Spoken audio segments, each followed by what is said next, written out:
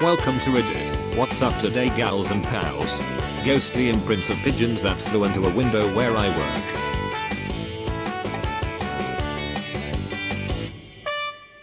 I used to have these on a high window at my old house. Unfortunately it was 14 feet up above bushes and no easy way to get up there with a ladder. The one time I cleaned it apparently I did too good a job because another morning dove slammed into it a couple days later and left another giant smear. If I remember right, there are some stickers out there you can stick on your window that are near invisible to humans but obvious to birds. I might be misremembering though. There are but luckily I got rid of that house. Can I have it? It was cursed. The real grass that has sprouted up in the corners of this fake grass.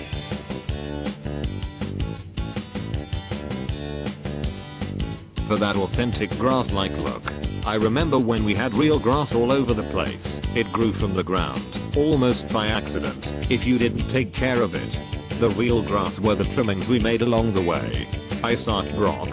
Mitchell the Demon. Oh I don't let any of my grass go to waste. I definitely smoke it first. This hourglass shaped traffic light.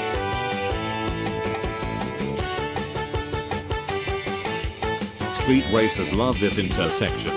Police hate this intersection click here to find out why. This one.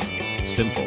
Trick. 8 reasons your mother loves it when you drive your sister home past midnight for Thanksgiving after watching these episodes of Friends. Number 7 will make you shit your pants and light your hair on fire. The way my dad's company rates stores.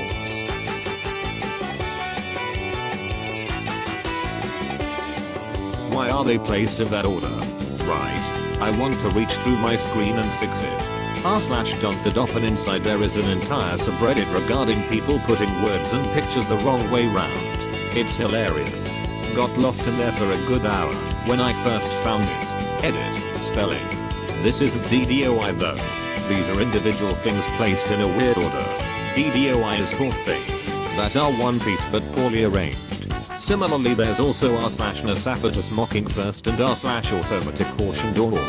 My guess is 1 2 3 are acceptable to accidentally mix up if the arrow slips, but you would make a conscious effort to go from 3 to 4. Somebody left a file cabinet full of spaghetti outside my office.